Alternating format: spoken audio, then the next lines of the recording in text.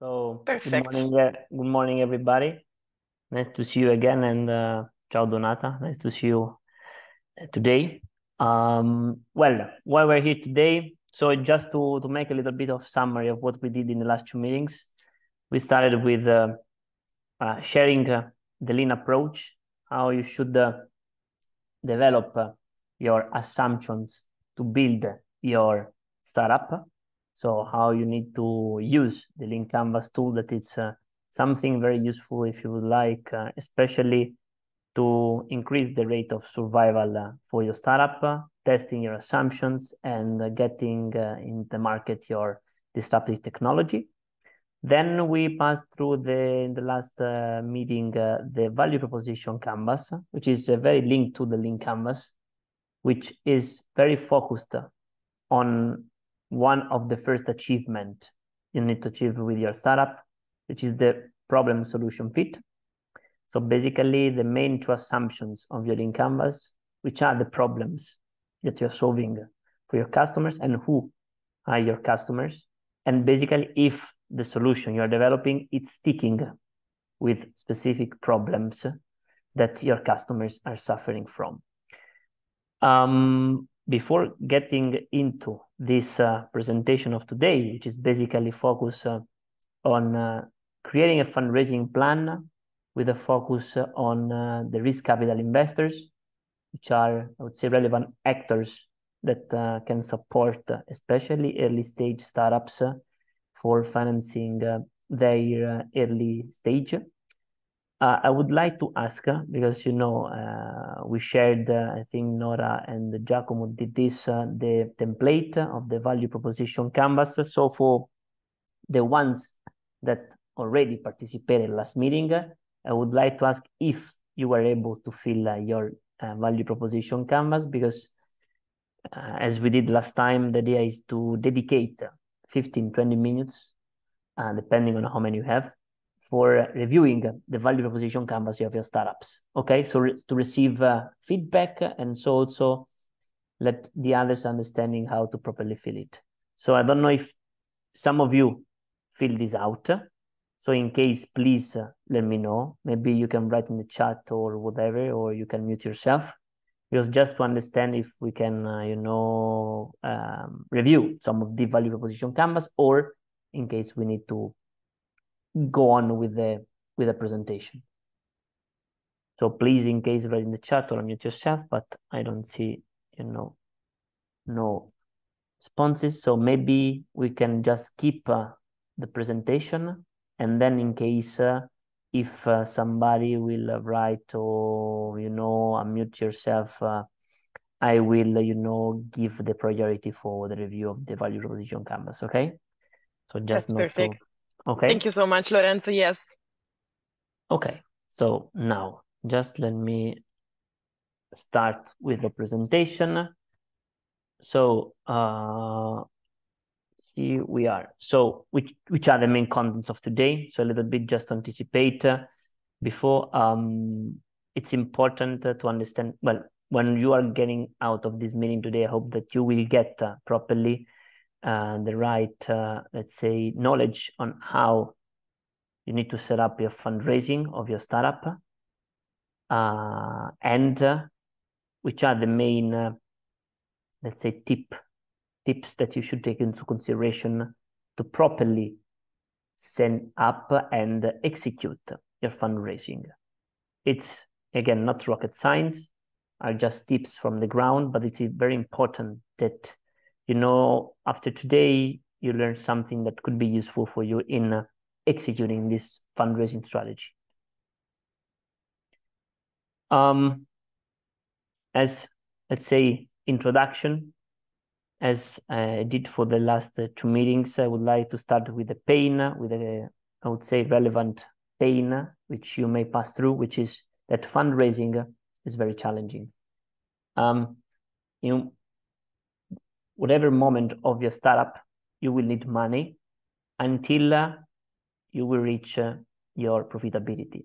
This means that you are able to generate profit that can sustain the growth of your company. But until that moment, you will need money for boosting and scaling your business. So some of these questions have been raised in your mind. So how much money do I need to raise to reach the next milestones? Which is the best source of money? Because as you may know, there are different stakeholders, investors, kind of investors that can put money to boost your specific business. And when I should start to raise money? This is another important question because the momentum that you need to raise your money it's something crucial. We will see this starting too late could uh, force you to accept conditions that are not, uh, let's say, fair, and then uh, your uh, fundraising strategy would not be, let's say, optimal. Okay, so we will see this in the next slide. Questions before starting? Something that you would like to add on top of these uh, specific uh, things that you would like to add on, you know, the fundraising plan? Again, please interrupt me when uh, we are going through the presentation. You know, it's an interactive session, so whatever kind of things that you would like to ask add uh, during the, the, the presentation, please unmute yourself or write in the chat, okay? So why are you raising money? So this is, I would say, something that uh, most of you will know, of course. Um, you start your journey setting up your startup. You have starting test assumptions as we see in the lean canvas. So you will have a specific moment of your business journey where the revenues basically will be lower than the cost. Okay, this is normal. So, and in this, let's say, moment, it's where you know you are in the death valley basically because in this specific you know uh, stage, uh, most of the startups are failing uh, because it's tough the journey. You are not seeing results maybe. So this is the early stage and there are different kind of investors especially in the risk capital industry which can support you. We will see this in detail. Just to a little bit to brief everybody if you're not acquainted with this are for example angels. Could be early stage funds. In this stage also there could be family and friends some that give you money and until you're not you're not achieving the break even, which is basically re- the revenues of your business are matching your cost, then once you achieve this, you become profitable. But then, of course, if you would like to boost your specific growth, because your organic growth, it's not helping you to boost as you would like to, then of course you need to look also for other kind of money which is more for the later stage. And in this case, uh, you can look for other kind of investors. Always in the risk capital industry, there are different kind of investors in the pipeline. This could be venture capitalists, private equity players, and then you can raise money. Of course, the amount of money it's changing because of course, if you need to grow in the early stage, you need an amount of money for reaching the milestone which is lower, then of course, the more you are growing, uh, the more you are getting, uh, let's say, uh, bigger in terms of revenues of um, dimension, the more also uh, the, uh, the other rounds that you will raise. Last but not least, uh, the difference of the need of money in the early, in the seed capital, as you can see, block it's because you need to reach your profitability, the break even. Once you reach the break even, all the rounds after are for boosting your specific growth. Because the organic growth that you may reach with your profitability, it's not enough uh, for uh, boosting the uh, the growth that you're expecting, your investors are expecting. Okay. So the main reason you are raising money for is for growing. Okay. So you're burning your capital, you're burning your money in order for making investment that will help you to get bigger and bigger, to growth and match the expectations also of the investors that are supporting you. Because we will see this in a moment. when you're bringing on board investors, and I'm speaking about risk capital investors, you need to match their expectations when they are supporting you. And one of these expectations is that you start to growth and you will growth in a specific time frame that will repay them for the risk they taken before. So good and bad news. There are a lot of funding opportunities outside today. So if you start to scout on the web, uh, you will have tons of players that can give you money. The bad news is that you are not the only one looking for money. There are thousands of startups that are looking for money as you. Okay. Which are the main funding sources? Just to give you an outlook. Um, you can look for different kind of money. I don't know how much you're acquainted with them, but what we talked before about was equity capital. So the money for boosting the growth, especially for the early stage startups, can be equity capital. Equity capital, we can see also this later, is money that are put into the company as nomin uh, nominal capital. And basically, the investors are becoming shareholders of the company. Okay. So they are taking the risk of the ventures alongside with entrepreneurs. Then you have in this spectrum debt capital, which is more classical, which is the bank, okay, or other financial intermediaries that are giving you the money and you need to repay back this money. Could be a loan, and could be other kind of you know um, debt money that you may have in mind okay especially for if because most of you are in the early stages. Usually it's very difficult for you to take debt capital.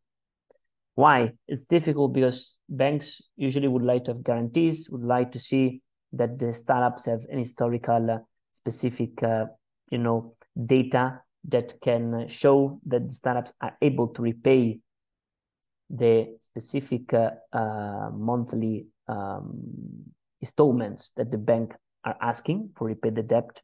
So usually, if you are incorporated uh, in the last year, or if you don't have specific revenues or your cash flow it's poor, then it's very difficult to debt. It's the bank it's giving you some loan, for example. But you know, this is another option for you. Then you have the guarantees. Um, I don't know if, you know, for example, in Italy, there are different, uh, you know, public bodies that are helping startups in uh, raising money through uh, the bank.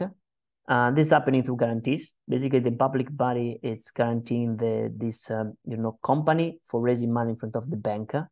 These are very helpful because these are putting uh, in the condition for the startups to receive money from the debt capital. Um, I don't know if in your countries this is happening, but usually this is something very useful for because you know the public stakeholder is helping the startups in receiving uh, money from the banks. Then you have subsidies, which are grants. I'm pretty sure in your you know country there are a lot of you know uh, national agencies, public bodies, or whatever that it's helping you receiving these grants at the national level, but also at the European level and usually grants are money that you're receiving and you not to repay back. If you're speaking about, you know, European Commission, there are different kind of programs.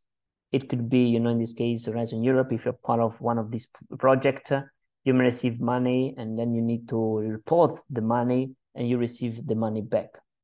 From the financial point of view, Horizon Europe, it's giving you an advance payment, 80% of the uh, budget that you are in the in the consortium, for example, and then the other 20% are based on the reporting period.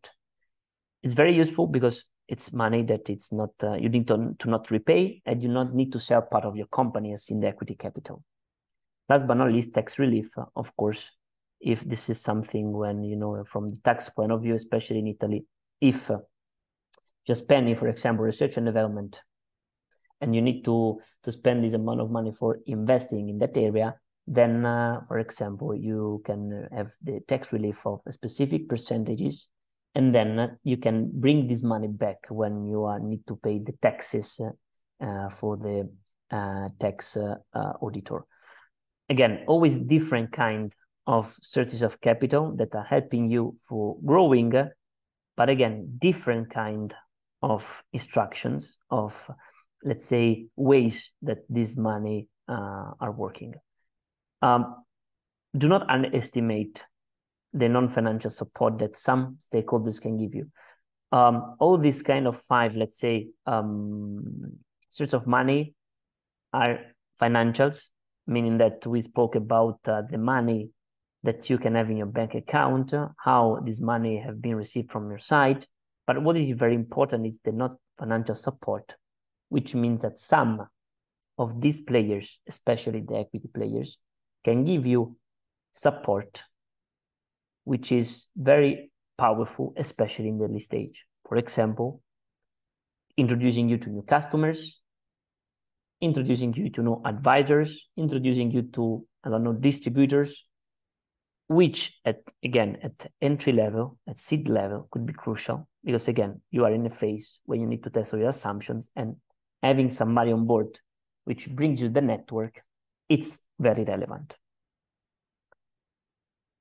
A big suggestion is do not just focus on one of these uh, sources, meaning, okay, you realize that you need a specific amount of money. Do not focus only on one search. You can also uh, diversificate your approach. So I need a, a 1 million for growing and for reaching the next milestone.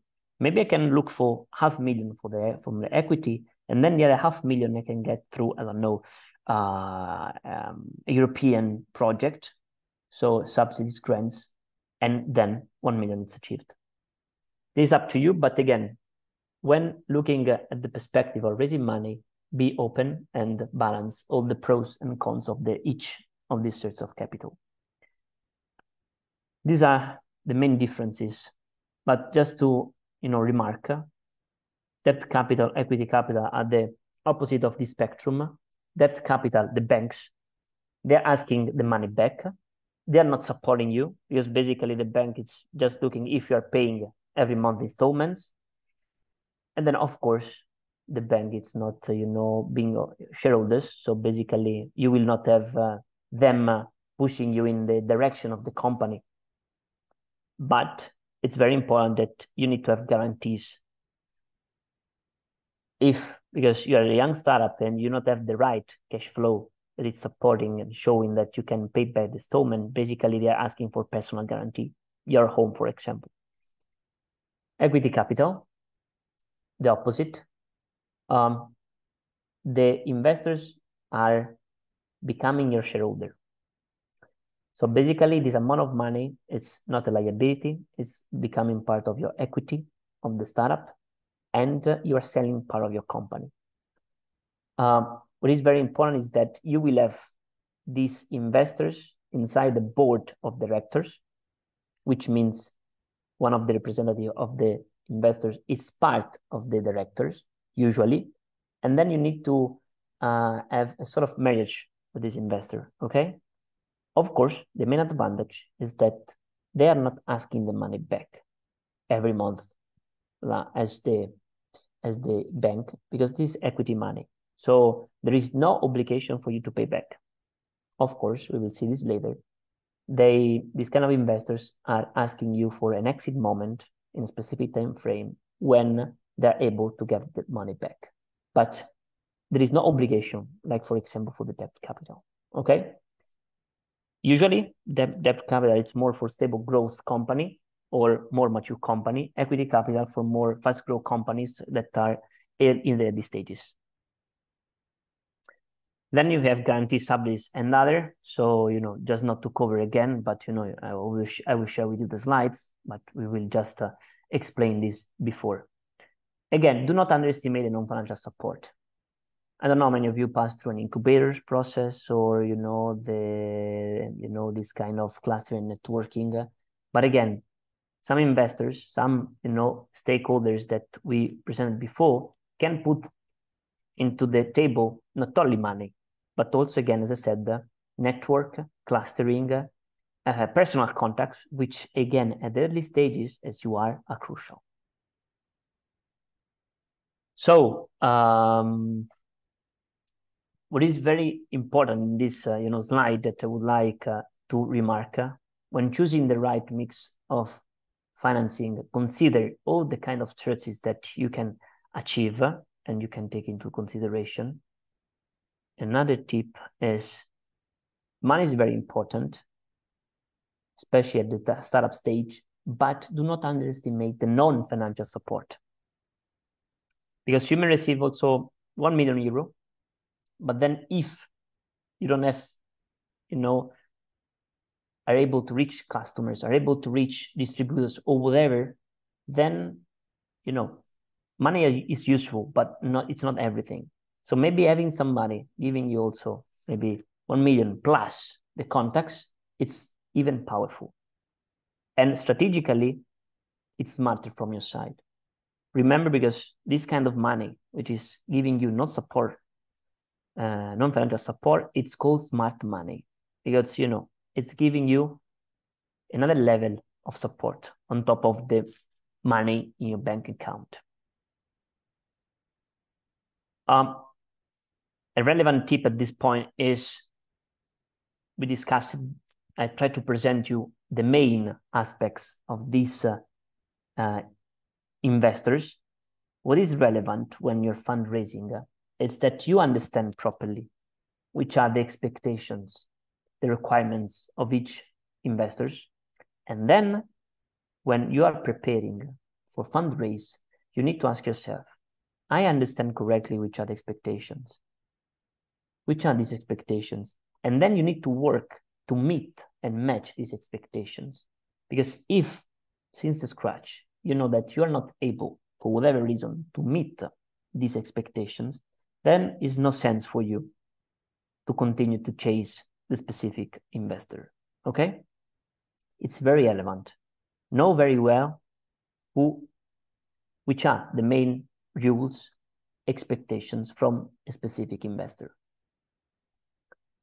Again, this is the risk capital investment. Um, I don't know how many of you are acquainted about risk capital investment. If you ever received an investment from uh, this kind of investors in case please you know you can share your experience it would be very relevant but what is it basically is when you're receiving money in exchange of a specific percentage of shares of your company okay so it's very important that you are selling part of your company. This must be clear.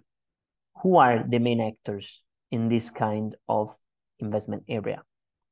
In the early stage, could be individuals like business angels, high net worth people, which is investing personal money for uh, being part and support startups, or could be financial company, asset management company, venture capitalist that are managing funds that are focused on early stage investments. When these kind of investors can uh, uh, enter in the process, well, alongside all the spectrum of the startup stages, from the pre-seed till the mature stage, because there are different kind of investors, business angels again, and early stage funds are more in the seed stage, but also private equity, for example, are always risk capital investors, but they are supporting mature companies that uh, you know are looking for a lot of money. Why? which is the main reason these investors are putting the money in, in startups for making profit. This is the main reason. So you need to have this clear in mind that they, the investors, would like to make a profit. And how they can make a profit is a certain point.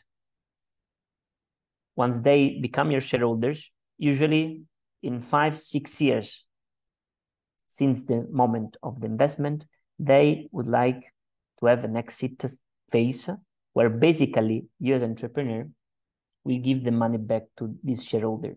How you can do this? 90% of the time in Europe, this is happening to a trade sale. This means that you as entrepreneur will need to sell your company to a bigger one. Um, this must be very clear in mind because you have not the uh, obligation to pay this money back, but having investors being your shareholder, they will start to press you because they need to generate a profit with your investment. So this is very relevant because if you as entrepreneur um, do not want to have an exit because you want not to want to sell your company in Europe, again, 90% of the time, this is happening through trade sale. You need to sell your company to another one for generating an exit phase where all the shareholders are becoming richer because maybe, you know, your company worth uh, 1 billion euro. But then, uh, you know, if you're not prone to do this because you would like to keep and uh, guide your company, I don't know, for the next 45, 50 years, you know, then maybe venture capital and especially risk capital investment, it's not your best option. Okay. So you need to consider this. That's why the tip before it's understand properly who is the, which are the main uh, rules, the main uh, expectations that you need to follow. Again, these are examples from, uh, you know, uh, in different stages how the risk capital industry is working. Uh, so you can see from the early stage pre-seed uh, angel investing uh, can invest between 20k and 200k. Then you have more seed level where you have both business angels and venture capitalists and business angel network, which are syndicating, which could invest up to 1.5 million. Then, of course, you will have later stage, which can you know start to become a bigger ticket of investments, where you have both VC in a later stage, but also private equity when you are in the growing stage. Second tip is do not talk with strangers. Again, this means um, do not focus on investors which are not, you know that you cannot match properly their expectations. And this is very linked to the first one. If you know that this is not the best option for you for whatever reason, because you cannot match these expectations and you are not prone to accept these rules, then do not go for this because otherwise it's a waste of time. Time is very precious source for your startup. So understand the rules. And if you can accept the rules and you met the expectations, go on. Otherwise, do not accept and do not consider that source of money. Business angels, seed uh, um, venture capitalists, the main difference is that business angels are individual, investing their own money. While they're doing this, profit, but also because they would like to support early stage uh, entrepreneurs because maybe they are, you know, in the past they have a big uh, background of, uh, you know, relevant experience in big industries and they would like to support uh, the new generation of entrepreneurs. Vice versa, venture capitalists are uh, companies, asset management company, which are investing uh, limited partners' money, so other investors' money so for them, it's crucial the profit because they need to give back the money to their investors increased with a profit. So this is the main difference. But both of them are investing in the early stages. Um, strategically, if you are taking the venture capital industry path because you think, okay, I'm prone to accept the condition of the risk capital industry. I am open to sell part of the uh, company. I think that the non support, the non financial support is great, so I would like to chase them. But when you accept these conditions, you need to think who can be the perfect investors in the risk capital uh, industry. Three main tips. Um, look for investors that can support you in the next rounds. What does this mean? Um, usually, when you close a round, it takes a lot of time six months, one year, even more. And uh, what is very important is that uh, if you know that you will raise more money through the equity uh, investors, then to save time for the next fundraising, and this is a smart approach, you need to find since the scratch and investors that uh, it's able with this portfolio to put other money into your company. Because then you are not forced to prepare again another fundraising, uh, you know, uh, campaign, spending a lot of time and whatever. So strategically, from the scratch, try to look at investors which are able to invest also in the other rounds. Then, again, always in a smart perspective, look for investors that uh, are expert in your field, people with experience in this field, which can help you to open customers network, distributors network, or whatever. Okay. Then, last but not least, hands-on approach. Somebody that it's prone to help you. So if you need the support, if you need, uh, you know, to to to give uh, this person a call, this person is open to accept this call and support you. So try to avoid people that is just giving you the money and you know just uh, looking uh, for reporting issue every I don't know three months or whatever. It's very important at your stage.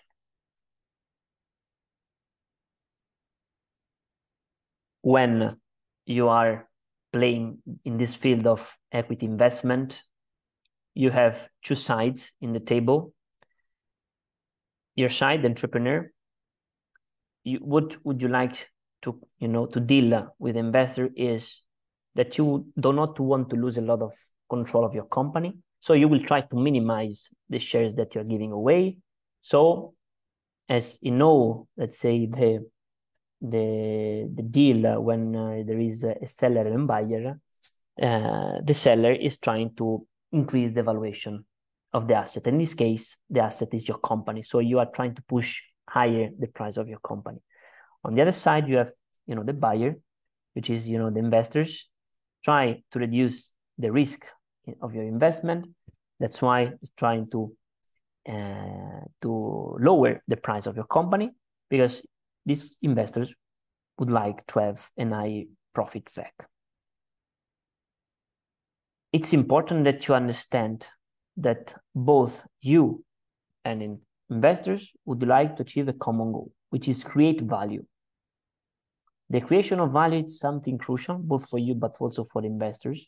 So that's why if you properly have the right mindset, both investors and entrepreneurs, then you will see this kind of investment as something very functional because both of you are aiming at creating value. Okay? You will both of you would like to have to increase the valuation of the company. And at a certain point, this is something crucial for you to entrepreneur, you need to accept to have an exit. An exit which aims to have a bigger value than the value that the investors pay to enter your company. Okay, but the creation of value, it's something that both as entrepreneur and the investors are keen to reach. And this is something you need to understand. Of course, the journey that you need to have uh, with the investors could be not easy because there could be hard moments. But again, both of you are looking for the same goal, create value. Um, which kind of homework you need to to do to prepare yourself properly for the risk capital industry. You need to prepare a lot, business plan. So you need to have, uh, you know, some pages where you're explaining clearly how you would like to set up your growth strategy, an exactly summary that you can share through mail that can appeal investors to have more information about yourself. Be ready for an elevator pitch so we will see this, uh, you know, next uh, next week.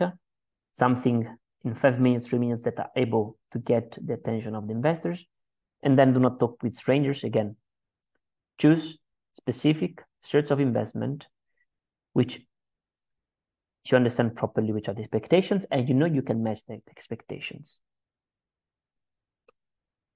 Um, do you have questions so far? About all this, uh, you know, discussion around uh, risk capital investment? No, apparently you have been super clear, Lorenzo. Okay. but again, please interrupt me eh, if you have doubts or whatever. Okay. Perfect. Thank you.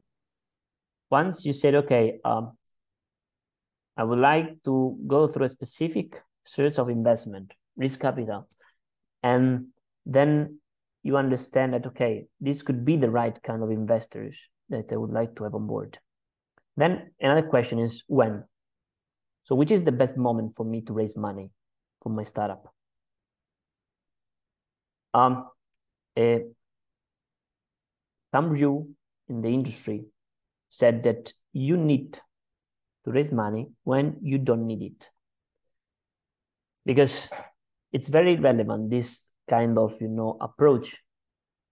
Because I, as I was saying at the start, if you are raising money when you realize that you can pay the expenses of your startup for the next three months, let's say, then you are putting yourself in a position to accept bad conditions in the deal because you are not in the position you know to to refuse the money or the condition that an investor is giving you. Because you have just three months of uh, time to cover the expenses. And from the financial point of view this is crucial. So our you know experience when you know we go through the investment of startups and we support startups in growing uh, we always suggest to start to look for money when at least you have one year of runaway um, i don't know how many of you are acquainted with the concept of runaway but uh, runaway is basically is the life expectancy of the company from the financial from the cash flow point of view. In this line there is an example that you can find. So um, you need to look at you need to look at your cash flow. And if you know for example that uh, you are burning each month 100,000 euro and you have in your bank account 700,000 then of course you know that you have the possibility to financial sustain your company for the next seven months. Okay, because each month you're burning 100K. This is crucial to know. And I am scared, and we are scared a lot of time when we are talking with entrepreneurs, they do not know which is their runaway in the company. So I don't know if I'm asking to some of you, or if you'd like to reply do you know which is your runaway or which is your monthly burn rate for your startup? Do you know this? How much money you're burning? Or maybe if you're not burning any more money. So did you do you know this as an entrepreneur? It's something that you're tracking, it's something that you're not carrying. Again, a big suggestion is track this because otherwise you know it's like the fuel in uh, in the the oil in the in the in the car if you're not tracking the you know the spy and you know the the this kind of things then you know a certain point the car will stop. And the same the you know your company. Track this specific you know uh, runaway ratio and the burn rate the monthly burn rate of your startup. And at least one year before that you know that your bank account is going to be empty, please start to think about how to raise money. Um, it's very important again from always from the risk capital investment perspective. Then you need to, to put you in the best position to raise money for the with the best conditions to show investors that you achieved relevant milestones so far. what does it, it mean? Basically, it shows to investors that you are properly executing the business plan. At this stage, investors, especially seed, pre-seed stage, they are investing in people, in the team, because basically your company is empty. You don't have asset. You don't have you know an historical data or a big portfolio of customers. You're an empty uh, you know box but what is making the difference And the main decision, the main driver, they are putting the money in the startup is the people. And if you show that as team you achieved the relevant milestones with a low budget, then it's very relevant for you that your um, your startup is doing the right things. Okay. So, which are the main categories of uh, traction, product, service? You're showing that your technology readiness level is high. It's ready to be sell, sold in the market. Then sales and business development. Again, if you have startup selling, I don't know, software and you show that each month you're selling already, I don't know, 1,000 monthly recurring revenue, and this it's increasing uh, on a monthly basis of 20%, uh, then you're showing a specific pathway, okay? A strong pathway.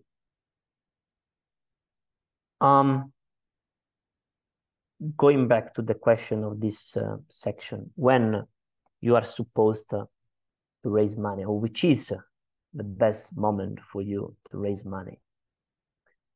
Um, try always to raise money from investors once you achieve the, the inflection points. What does uh, inflection point mean? Um, basically, inflection point are the main milestone in your entrepreneurial journey that you'd like to achieve. So let's say I would like to have a TRL nine of the product, uh, you know, in the next six months. Then after six months, I would like to start to sell in the to the, the customers. Then uh, after one year, I would like to have a growth of sales of sales of I don't know thirty percent. These kind of milestones. The best momentum to, to raise money is after you reach this milestone. Why? Because then the conditions that you're presenting to the investors are different. You can have a higher price of the company, better conditions, and from the entrepreneur point of view, is the best. Vice versa, if you start to raise money before reaching this milestone, your traction is perceived as less, your risk is higher, and so the value of your company is less. And so the conditions for you are worse. Okay? It's very important then that uh, when you are raising your money, you are able to raise after this impact uh, inflection points. And then what is very important is that you are um, able to have the enough money for reaching the next inflection point, the next milestones. Okay, that's why a big suggestion is when you're calculating the amount of money you will need for the next uh, one year, because in one year you know that you reach the next milestone. Always put the 20% more, 30% more. Why? Because it's sort of buffer for you for the emergency, for something that you not foresee.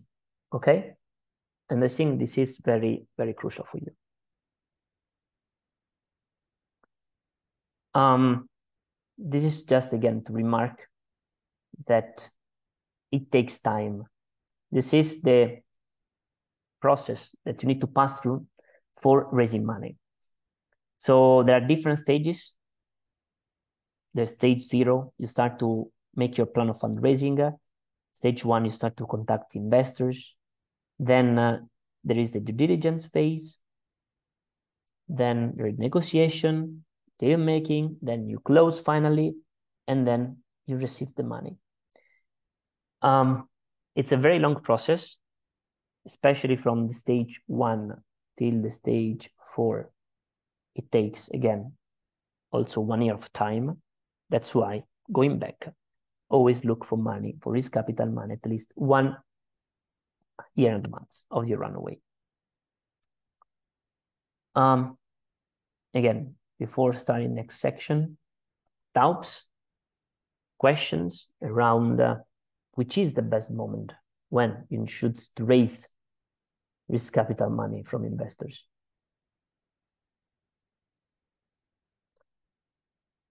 Okay, so we can move uh, in the section of how much money. Um, always these sections are very linked. The best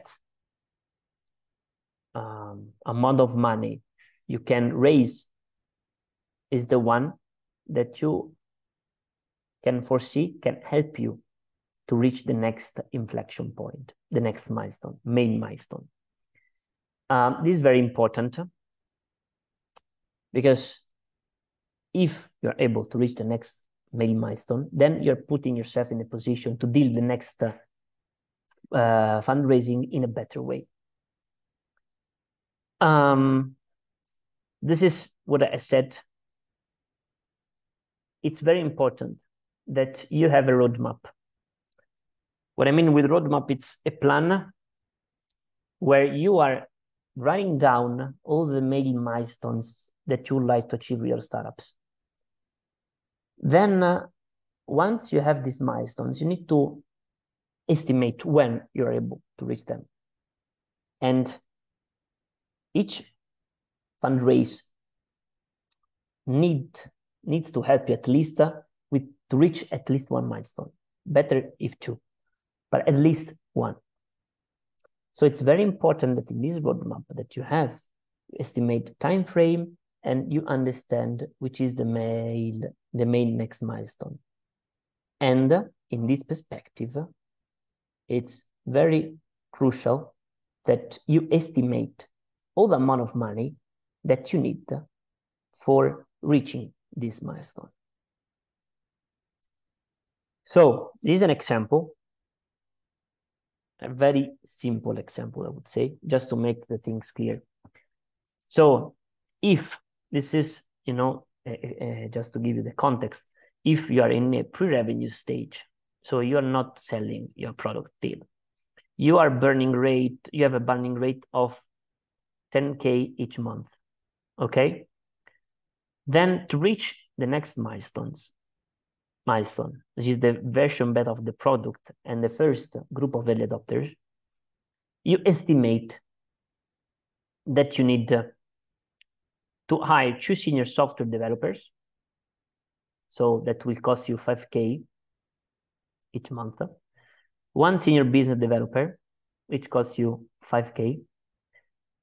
And marketing expenses that you may estimate in 15K. Um, to release the beta version and to reach 10 early adopters, you estimate that this process will take 18 months. So given this context, how much money should you raise? So is there somebody I would like to take this question?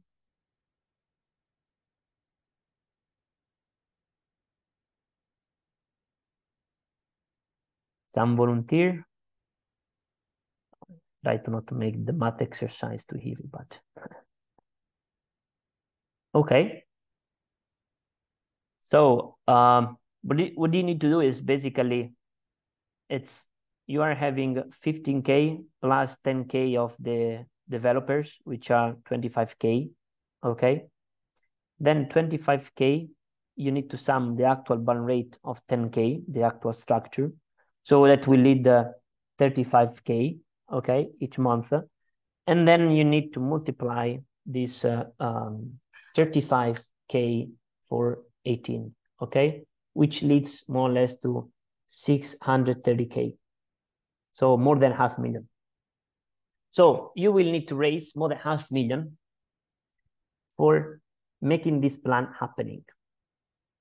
A tip from my side is add 20% more because maybe the expenses you estimated are too low. So there are some unforeseen expenses that you need to face, okay? So include always a buffer because this will help you to be in a safer position, helps you to have money in your bank account that will lead you to the next milestone, okay? Um, what you need to be aware about when, again, always in the perspective of risk capital investment, it's the dilution. This means how you as a founder, how much part of the company, how much, how many shares you will own as a shareholder. This is a mere table to show some average statistics that can happen. So when you have your startup with your founders without having raised money, you have 100% of the company, you and your founders. Usually in a seed stage already, you need to sell away the 25% of the company. Then in the Series A, you will you will uh, need to sell other 25%. So you see that in two rounds, on average, you can own just the 50% of your company. And then you, the more, of course, you proceed, uh, the more you need to, to be diluted. But, uh, but uh, do not be scared. Because in each of these rounds, the value, the creation of value of your company should increase. Should. Because it's not always happening. But if you will own just say in the Series C 20% of the company that is worth uh, 3 billion it's always better much better than owning the 75 of the 100% of the company which is just uh, value you know uh, it's valuing uh, 1 million i understand from perspective that you do not want to give away a lot of your company. But if you're taking this journey of risk capital investment, think about this. Again, you maybe do not need the five, six rounds. But if this is the case, consider that the more rounds, the more dilution, because you are selling away part of your company. This is just to be aligned with the market. So just to share you some figures I don't know how many of you are uh, acquainted about what's happening in the market, but this is just something that you can download from PitchBook, which is a very relevant uh, database for you know data around you know startups, and uh, especially this was from 2021, so it's pretty updated. But just to give you an uh, an idea of which is the average of equity that you need to sell into a seed round. Um, again, this is based on European startups. Um, what's happening, what, what was happening in 2021 is that uh, early stage startups was raising on average 1.1 million as ticket, meaning uh, an early stage startups was raising 1 million money on average. And the investors on average were having as evaluation of these startups 4 million this means that before investing, investors, when starting to make a deal with the entrepreneurs, were saying, we are valuing your startup 4 million euro. Then this means that technically speaking, the value, the value of the company once the investors were in is the sum of the pre-money valuation plus the investment made. In this case, on average, was 5 million. This means that if you need to estimate the average shares that have to be uh, sold for the investors, this is a simple calculation, meaning that you need to take the value of the company, the post-money valuation, and you need to consider the ticket that was invested by the investors. This means that the investors need to own 1 million out of the 5 million valuation. And this means technically that the average shares that investors were aiming at was 21%. This means that on average, in the seed round, European investors were asking for the 21% of your company. It's too much for you. Then, uh, in case again always consider that you know other kind of sorts of money but again if you're asking for risk capital investment and you are not accepting to sell away 21% but just the 5% of your company in a seed stage then maybe it's not sense for you to proceed in the market was happening this in 2021 okay Um, I think that okay, but you know we don't. Um, I do not include the slides for the the the US market. The US market is the same. Maybe they have bigger ticket, a bigger pre-money valuation, but the concept is that investors are always asking for the twenty percent. This means that if again you are not prone to accept 20% of your company to be sold away, then you know try to look for other sources of money because these are the conditions, these are the standards happening in the market. Um, these are another tip, uh, always looking at what's happening uh, in, the market and, you know, just to give you some statistics.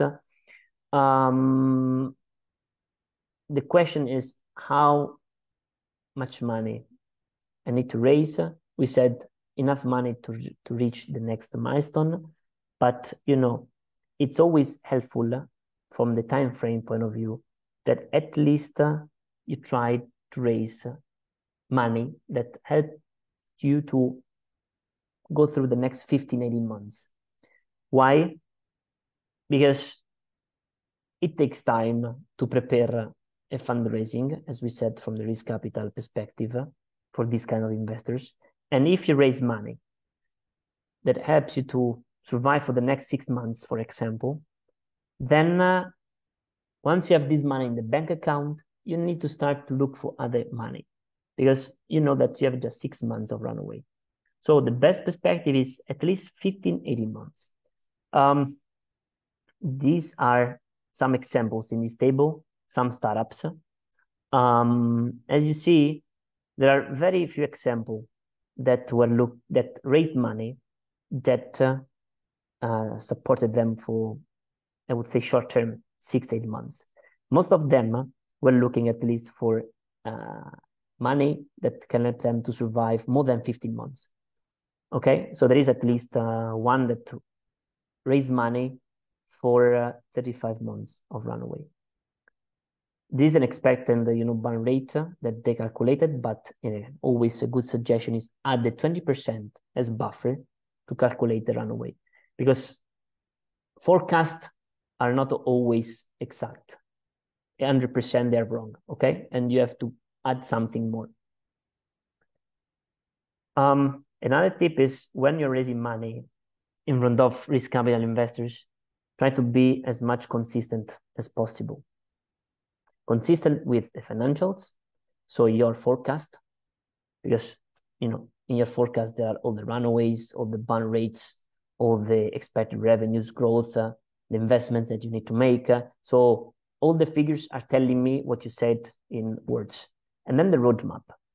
You need to have a roadmap, as I said before. The, the roadmap is crucial for understanding the milestones, the time frame, and the amount of money you need to raise for the next round.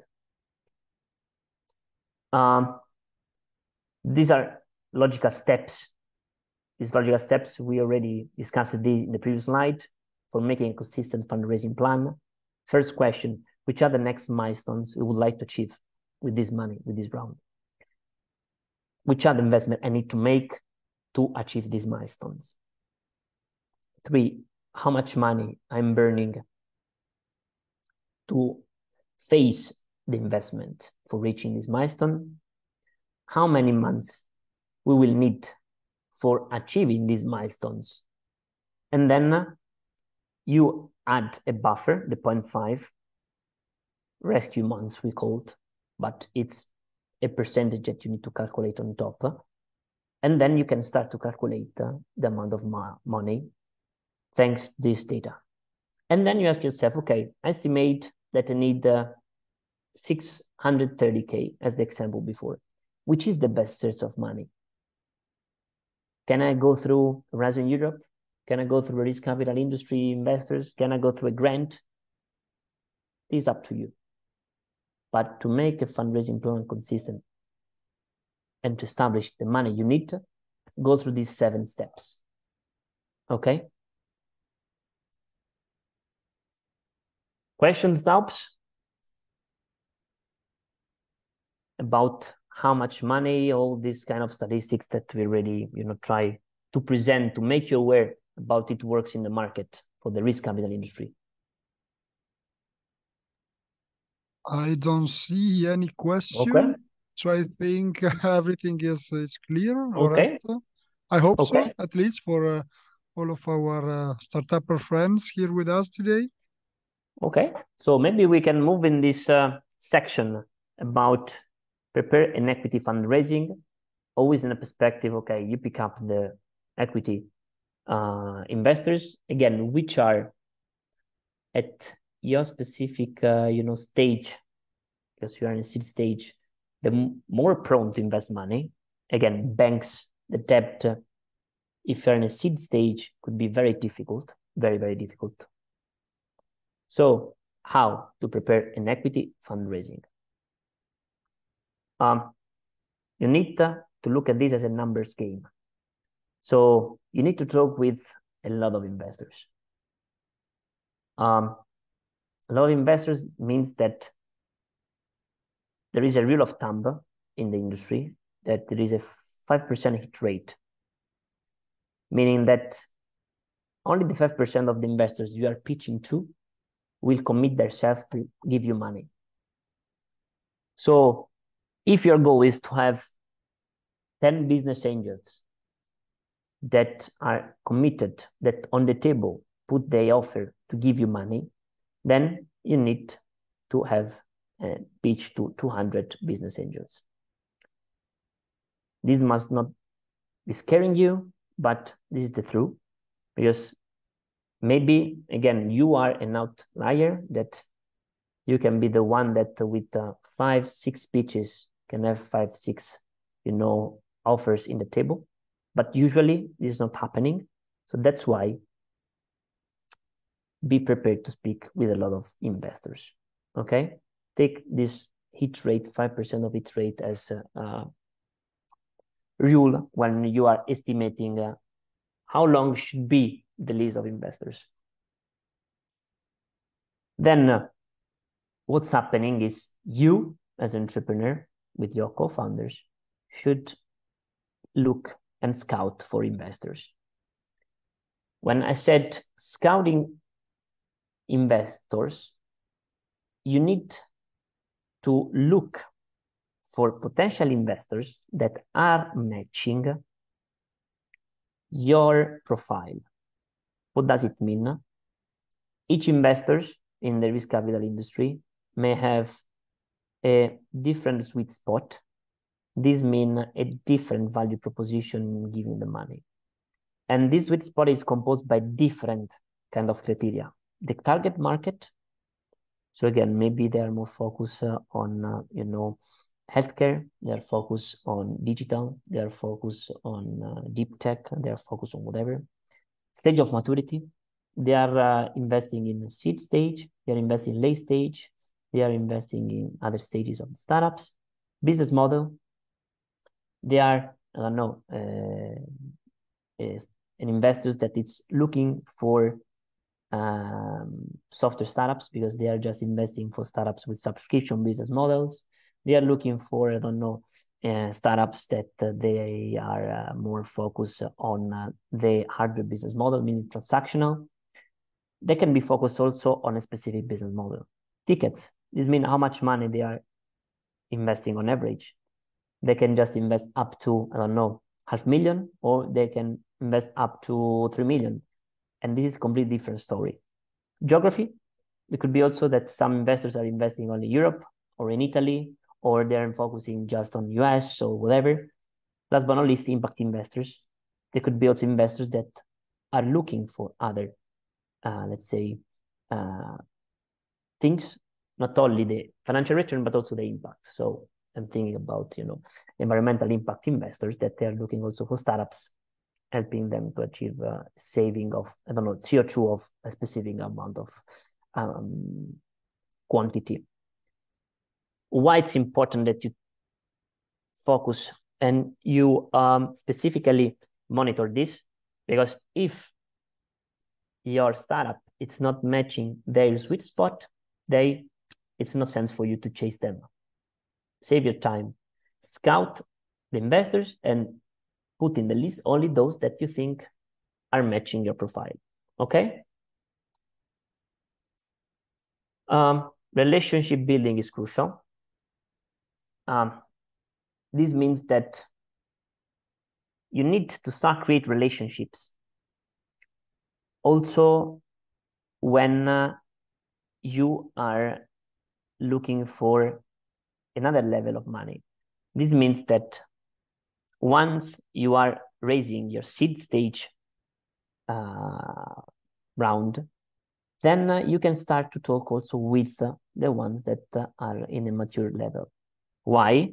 Because usually when you keep them in the loop of your startup, of the updates of your startup, then uh, you are putting them in a potential pipeline when you will raise the next uh, the next round of money. Okay, and uh, this is pretty crucial because, um, as I was saying, it takes time to raise money, and if you are having already future investors in the loop of your startup, a suggestion that we see a lot of time is add investors in a newsletter, just a newsletter focused to investors relation. And we sometimes receive also uh, this kind of newsletter where there are startups that are updating each month or a quarterly basis what they achieved. Why it's important because I am in the loop as investors, and if I'm an investor that it's entering in a mature stage but I am already in the loop uh, when they are early stage. I can have information, I can see, and I can track how the startup is evolving. And it's a win-win situation. So the suggestion is focus on those that can give you money for the next round, but start also to make relationship for the next rounds after, for example, the seed. It's crucial because having this approach is smarter and can save you a lot of time. Um, don't burn bridges, meaning uh, the venture community it's very small usually. Okay, so in the industry there are not uh, you know millions of uh, um, companies, venture capitalists or business angels. So the community usually is small. You know, uh, especially I'm thinking in Italy, but apart maybe the US where it's very big. You know, in the other market could be relatively small. And so I think that uh, the relationship that you are building with uh, the people, because again, uh, venture capital is made by people, it's crucial. And if you are not uh, transparent, if you are not behaving in the proper way, you're having uh, a big damage in, in return to your uh, you know, specific person. And then uh, do not think that this is not going to then to you know to damage you for the other rounds. No, it happened once that you know there was a founder that was not acting, uh, you know, transparently. That uh, a certain point, when you know uh, there was another investor that was prone to give the money to him, then uh, in the industry they were talking in, a, in an event, uh, in a networking event, and another investor said, you know, what was the behavior and then you know these kind of things uh, then uh, take the deal to not closing. Again it's very crucial always from your side to be transparent and honest because this will repay also for the next rounds. Um, a first crucial step is map your contact.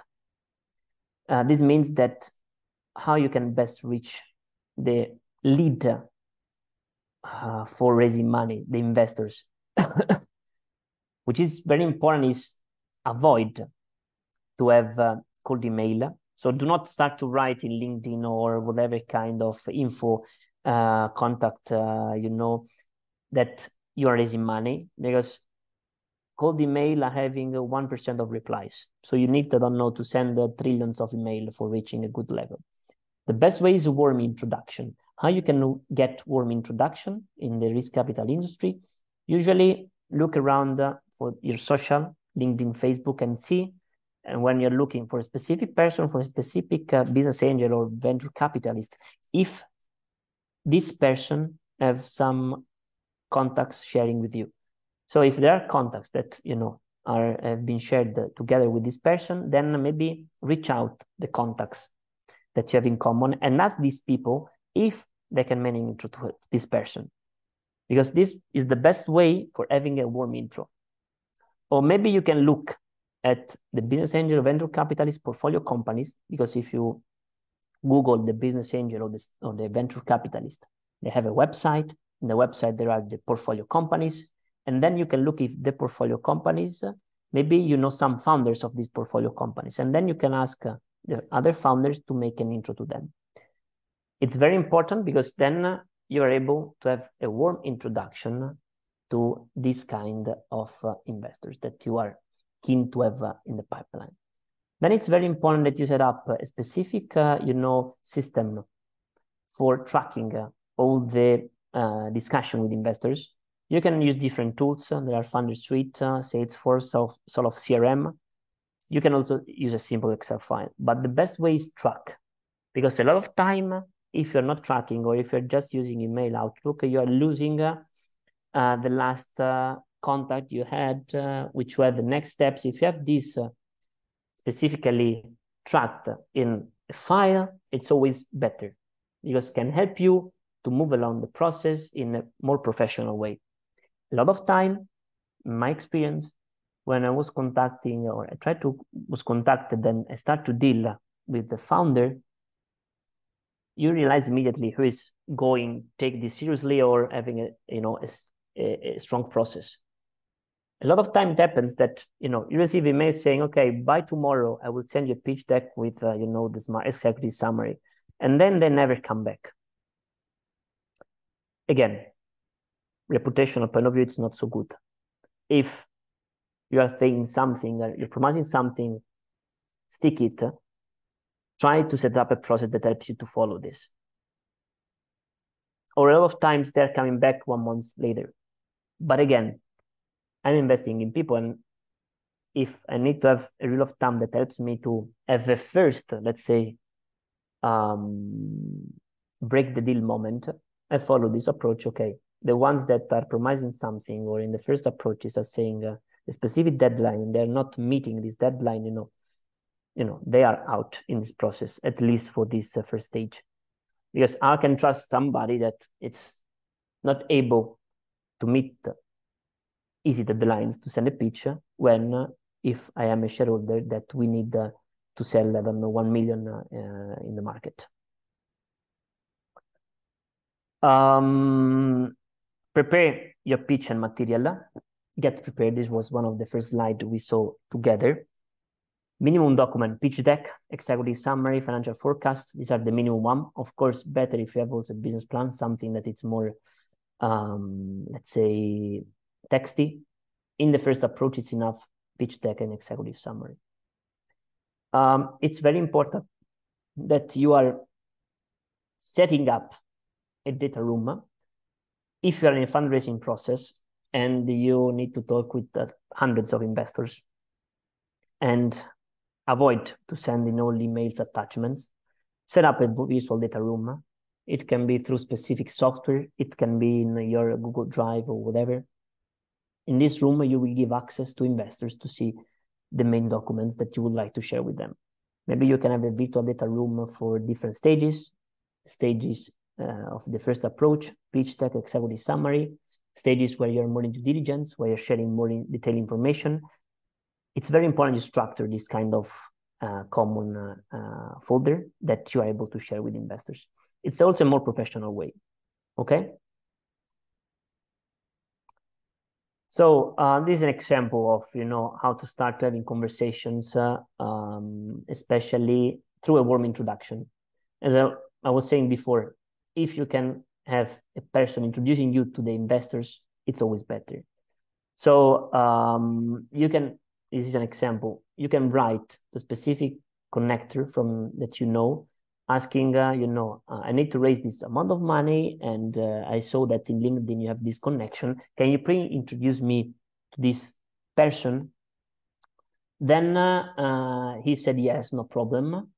Uh, maybe you can ask also this person to make an introduction, and you can share a specific short template of email that it's helpful for uh, the connector to share with investors. Because again, it's it must be something crunchy. So uh, I am, I don't know, uh, Lorenzo, and you know, I'm raising this amount of money for this company. We are this kind of company. We're making these things better than competitors, and we achieve this kind of milestone in the next, uh, in the last three months. I would like to have, uh, you know, a quick chat with you to understand if there could be, you know, a potential, uh, you know, deal. Thanks. Very simple email that the connector can share. Um, the best then way for you to get the momentum of, uh, you know, generate momentum around your fundraising is uh, having a lot of meetings. So every day, every week, uh, you need to be full of meetings when you're in fundraising process. And what is very important, always keep the track of what must happen after the meeting. This means that, okay, um, I had a meeting with these investors, so I need to track somehow, and again, maybe in the software or an Excel file, uh, what was the interest level, if they're interested or not, and which are the next steps. So I need to contact him back. I need to wait two weeks before the reply. It's very important that you need to track because the next the next things to do are crucial. Um, follow up email. It's crucial to receive feedback from investors in the risk capital industry, there are, you know, different kind of perspective around this because sometimes people are saying that, you know, the feedback of investors are not true. Somebody is saying uh, they are, you know, very rare, but uh, the ones that are giving feedback is crucial. Again, our approach is try always to send feedback email. Um, follow up uh, three times, usually in, in a period of one month do not send everyday mails asking for feedback, but you know, on average, one every 10 months and maximum three times, because after three times, this investor is not replying, you know, just give up. Um, closing a deal, it's like a marathon, especially, you know, in the risk capital industry. Um, these are some tips for, uh, you know, succeeding and arriving, uh, you know, to the last mile. After 20 meetings, uh, you're understanding if your uh, uh, round is generating interest, okay? If you are an average of 5 to 10% ratio of pitches to commitments, this means that, as I was saying, uh, out of 100 of investors you talk to, five commit their money to your company, you are on the average, so you are, go, you are doing in the right way. But after 50 investors, you are not received a commitment and interest, maybe it's time to regroup and think and start to think why it's not working. Maybe you need to have more traction. So you need to work more on your business and try to get more traction or trying to find a round bridge or maybe put some money from shareholders, existing ones to achieve the next milestone, then come back to the investors. And then uh, try to put always investors in a competition the more deals you have on the table at the same time, the better the conditions you can raise. But I think you know the deals and negotiation. Last but not least, uh, fundraising is a full-time activity. If you are the CEO of the startup, you need to do only this. Meaning 99% uh, of your time, 90% of your time should be committed to fundraise. Update documents, meeting investors, follow up with investors, these kind of things. Doubts, questions?